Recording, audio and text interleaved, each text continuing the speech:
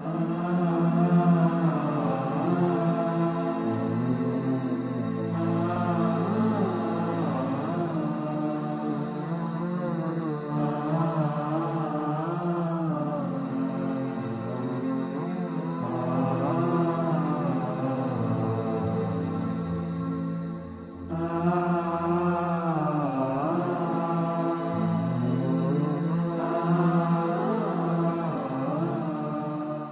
بسم الله الرحمن الرحيم الحمد لله رب العالمين والصلاة والسلام على أشرف المرسلين سيدنا محمد وعلى آله وصحبه أجمعين وأشهد أن لا إله إلا الله وحده لا شريك له وأشهد أن محمدا عبده ورسوله اللهم صل وسلم وبارك عليه وعلى آله وصحبه ومن اهتدى بهديه واستنى بسنته واقتفى أثره إلى يوم الدين أما بعد السلام عليكم ورحمة الله تعالى وبركاته وأسأل الله عز وجل أن يتقبل منا ومنكم سائر الأعمال وأن يجعل أعمالنا كلها صالحة ولوجهه الكريم خالصة وألا يجعل لأحد فيها شيئا أبدا وأن يتقبلها منا سبحانه بقبول حسن ربنا لا تزغ قلوبنا بعد إذ هديتنا وهب لنا من لدنك رحمة إنك أنت الوهاب ربنا إنك جامع الناس ليوم لا ريب فيه إن الله لا يخلف الميعاد.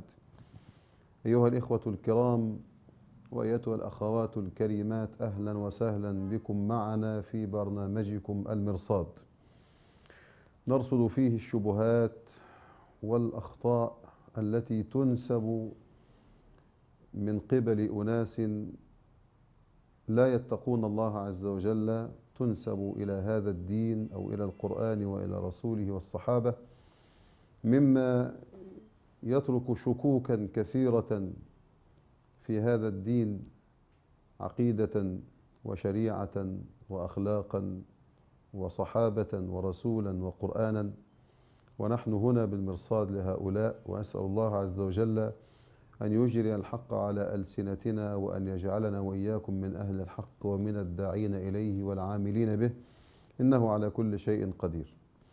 اليوم نعيش مع هذا الطعن الذي طعنه أحد من ينتسب إلى العلم للأسف الشديد ومن عنده يعني شهادات علمية يعني شرعية. ويتكلم على أصحاب النبي صلى الله عليه وسلم بلا تحقيق ولا تدقيق بل ولا أدنى أدب يذكر في هذا الشأن. يقول في معرض حديثه يعني عن موضوع معين كان يتكلم فيه فيقول إن الصحابة الكرام حتى إن الصحابة يعني كانوا يذهبون إلى المسجد وهم الصحابة الكرام الأخيار. من أجل أن ينظروا إلى امرأة جميلة كانت تذهب إلى المسجد. في بعض الصحابة كان يتأخر حتى يصلي في الصف الأخير ثم إذا ركع ينظر أو إذا سجد ينظر من بين رجليه حتى يرى هذه المرأة الجميلة. ثم يقول والبعض ممن يتقي الله كان يذهب في الصف الأول حتى لا يرى هذه المرأة. يعني ويستدل بقول الله عز وجل ولقد علمنا المستقدمين منكم ولقد علمنا المستأخرين قال إن هذه الآية نزلت في هؤلاء الصحابة فالله يقول ولقد علمنا المستقدمين أي ممن يستقدمون فيصلون في الصف الأول أو الصفوف الأولى حتى لا ينظروا ولا يفتتنوا بهذه المرأة الجميلة. ولقد علمنا المستأخرين أي الذين يستأخرون ويصلون في الصف الأخير حتى ينظروا إلى هذه المرأة الجميلة. هكذا قال وهذا ما ادعاه. والحقيقة حتى يعني نكشف الأمر للناس أنه ورد حديث إن أردتم أن تراجعوه في تفسير هذه الآية ستجدون ستجدون هذا الحديث. وهذا الحديث رواه الترمذي وغيره. بسند فيه عمرو ابن مالك. ونصه قريب من هذا أن فعلا بعض الصحابة كان يذهب وإذا ركع ينظر من بين رجليه إلى هذه المرأة. طيب. هل كل ما يروى في أسباب النزول صحيح؟ خطأ. ليس كل ما يروى في أسباب النزول صحيح. هذا يسمى سبب نزول. بالنسبة لهذا الحديث بالنسبة لهذا الحديث مع هذه الآية. هناك كتب خصصت وصنفت لإيراد أسباب النزول. لنا أسباب النزول للواحدي الإمام الواحدي في أسباب النزول للإمام أسباب النزول للإمام السيوطي رحمه الله وكتب كثيرة في هذا الشأن وذكروا هذا الحديث. طيب أقول في البداية ليس كل ما يذكر في كتب أسباب النزول صحيح وليس كل ما يريده العلماء يريدونه صحيحا أي يعني يستدلون به على هذا. فمنه الصحيح يصححونه ومنه ما يضعفونه. طيب هذا الحديث فيه في سنده نحن ك كمشتغلين بالحديث خرجنا هذا الحديث. والمشتغلون به قديما خرجوا هذا الحديث. يعني أنا أنقل سأنقل لكم يعني كلام ابن كثير رحمه الله تعالى في تفسيره لهذه الآية. ذكر هذا الحديث ثم ذكر وقال ويروون في ذلك حديثا غريبا جدا. يعني أو كما قال حديثا غريبا جدا. وساقه قال وفي متنه نكارة. أو قال وهو حديث منكر جدا. منكر جدا يعني حديث ليس بصحيح. ليس بصحيح مطلقا. قال وقد رواه عبد الرزاق من طريق أبي الجوزاء اللي هو روى عن ابن عباس. لأن هذا الحديث يروى عن ابن عباس بهذا بهذا المتن. قال قد رواه عبد الرزاق بسنده إلى أبي الجوزاء من كلامه هو. يعني هذا الحديث لا يصح نسبته إلى عبد الله بن عباس رضي الله عنهما إنما هو منسوب إلى أبي الجوزاء من قوله هو. وللعلم ما ينسب إلى النبي يسمى مرفوعا وما ينسب إلى الصحابة يسمى موقوفا وما ينسب إلى التابعين يسمى مقطوعا. فهذا ينسب إلى التابعي أبي الجوزاء. طيب هل الحديث المنسوب إلى ابن عباس صحيح؟ لا ليس بالصحيح. فيه عمرو بن مالك قال فيه ابن حبان رحمه الله يغرب. قال فيه ابن حبان يخطئ ويغرب. يعني هو نص صريح اهو يخطئ ويغرب. يعني يأتي بالغرائب وفي أحاديث أخطاء. وقال ابن حجر صدوق له أوهام يعني يكون على حذر من مروياته يبقى هو يخطئ ويغرب وله أوهام. وهذا من أخطائه وغرائبه وأوهامه. وهذا من أخطائه وغرائبه وأوهامه. فلم يصح هذا الحديث أبدا. لا تصح نسبته إلى أصحاب النبي صلى الله عليه وسلم. وحاشا أصحاب النبي صلى الله عليه وسلم أن يكون فيهم من يفعل هذه الأفعال. وهم الذين كانوا يتوقون كل خطأ وكل شبهة وكل فتنة. وهم الذين كانوا أبعد الناس عن المعصية وكانوا أحرص الناس على الطاعة. حتى إن بدر منهم خطأ كانوا يستغفرون الله تعالى يعني ويندمون ويبكون وضربوا أروع الأمثلة في التوبة إلى الله عز وجل.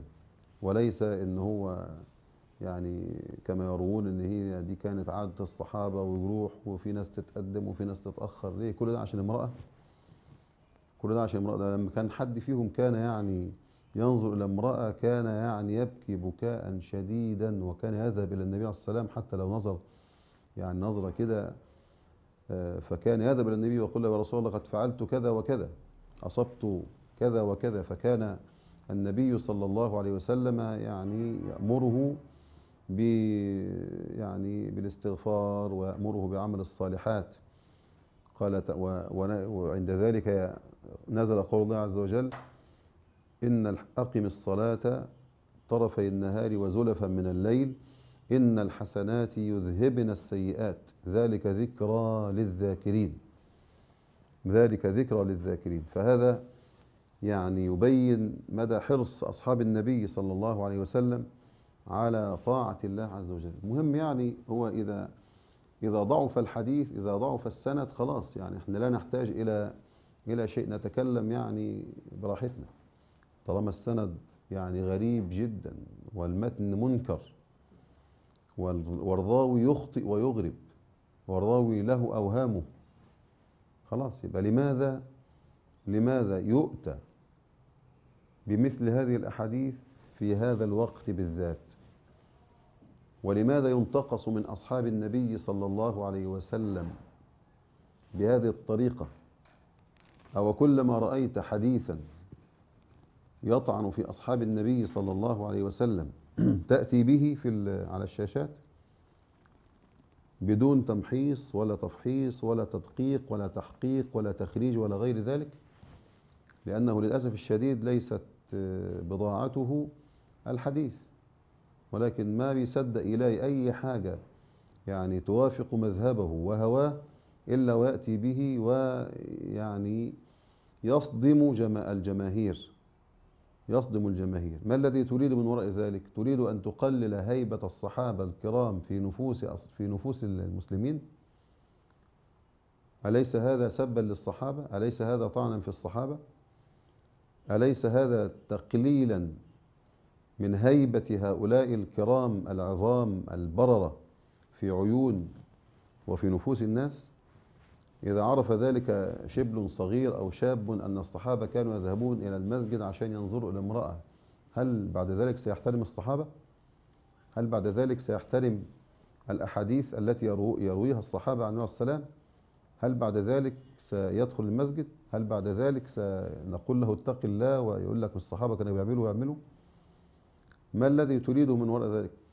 قال النبي صلى الله عليه وسلم كما في الصحيحين من حديث أبي سعيد لا تسبوا أصحابي فوالذي نفسي بيده لو أنفق أحدكم مثل أحد ذهبا ما بلغ مد أحدهم ولا نصيفه. إياك أن تسب الصحابة أو أن تشن على الصحابة أو أن تتكلم عن الصحابة بكلام سيء وأصل الكلام خطأ وغلط ووهم وغريب ومنكر وشاذ. لا يمت لأخلاق أصحاب النبي صلى الله عليه وسلم بصلة وهم تلاميذ محمد صلى الله عليه وسلم. إنما الصحيح في الآية ولقد علمنا المستأخرين منكم المستقدمين منكم يعني الذين تقدموا آه، قبلكم في الزمن الذين ماتوا. ولقد علمنا المستأخرين أي الذين سيكونون بعدكم. هذا ما نسب إلى ابن عباس صراحة وبصحة ومعروف. ونسب إلى آه، محمد بن كعب وإلى مجاهد وإلى عكرمة وإلى آه، الضحاك وإلى غيره من آه، التابعين وغيرهم. هذا هو الصحيح في الآية ولا بد أن نعرف حتى نفسر الآية السباق واللحاق. وسباق الآية وإنا لنحن نحيي ونميت ونحن الوارثون. ولقد علمنا المستقدمين منكم ولقد علمنا المستأخرين وإن ربك هو يحشرهم إنه حكيم عليم. الآية لا علاقة لها بالصحابة ولا بالصلاة. وأسأل الله عز وجل أن يفقهنا في ديننا وأن يعلمنا أمور ديننا إنه على كل شيء قدير. وصلى الله وسلم وبارك على حبيبنا محمد وآله وصحبه أجمعين. والسلام عليكم ورحمة الله وبركاته.